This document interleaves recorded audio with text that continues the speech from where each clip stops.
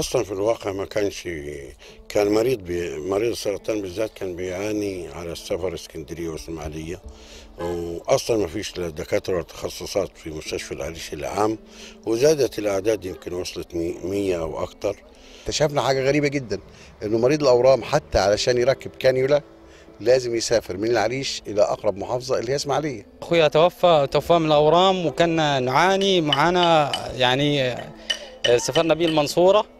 جامعة المنصورة وسافرنا بيه إسماعيلية. ومن ليلة الرعاية في شمال سيناء من الأورام توفى الله. وطبعا لا يخفى على أحد معاناة الطرق دلوقتي في سينا إحنا بمحض الصدفة كان كانت إحدى المرضى تعرفنا عليها. قمنا بعثنا معها الحج حجاج فاز الصعيدي الإسماعيلية فهناك قابل الدكتور سهير رئيس القسم. هناك الدكتورة صغير عبد المحسن اللي هي رئيس قسم الأورام قالت لي يا ابني بدل ما تتعبوا الناس لا أنا مستعدة أزودكم بالدكاترة واعملوا لنا مكان مجرد مكان إن إحنا ندي فيه الجرعات ونركب الكانيولات ونخف على مرضى الأورام. من هنا بدأت الفكرة توجهنا لوكيل وزارة الصحة الدكتور طارق خاطر.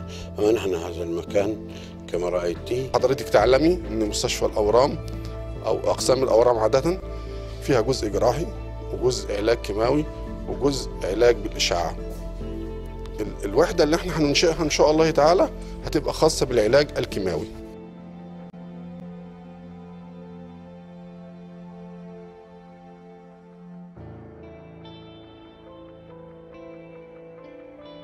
فطبعا المكان ده اللي حضرتك شايفاه كان حضانة وكان مليان ب متخ... حضانة مغلقة لمدة ثلاث سنين مليء بحاجات آه، مستندات و و و. اضطرينا إن إحنا نشيلها ونبتدي نظبطها كوحدة علاج أورام.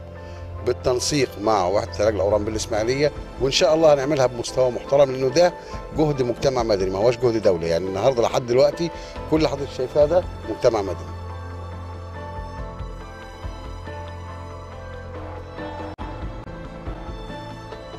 دي دي أصلا وحدة لجميع أبناء المحافظة مش أبناء شمال سيناء فيش والمقيمين عليها. ومن خارج المحافظة إحنا بنستقبل كل الحالات. وإن شاء الله ربنا يكرمنا ويدعمنا ويوفقنا. الوحدة دي عشان مكافحة السرطان في عموم جمهورية مصر العربية وبابها مفتوح لكل واحد. عايز يساعد برضه على مستوى الجمهورية. آه، هتقدم طبعا خدمة لل- للمواطن السيناوي من آه، تنظيم للعلاج آه، تقديم الأدوية انت حضرتك تعلمي ان ال- الأدوية الخاصه بعلاج الأورام آه، غاليه الثمن وباهظه الثمن فهيبقى طبعا بدعم من آه، رجال الأعمال آه، لمنظمات المجتمع المدني الأهالي كل كل على حدة هيساهم بهذا بقدر من تقديم الخدمة العلاجية في هذه الوحدة. نتمنى من كل من شمال سيناء انه يدعم بكل قوة ل- قسم الأورام في شمال سيناء. العلاج هيقوم به إما على نفقه الدولة أو التأمين الصحي أو الجمعيات الخيرية والجمعيات الأهلية اللي انشئت خصيصا لمقاومة السرطان على مستوى على جميع مستوى الجمهورية يعني. ادعم من اهالي شمال سيناء ادعم وحدة الأورام بمستشفى العريش العام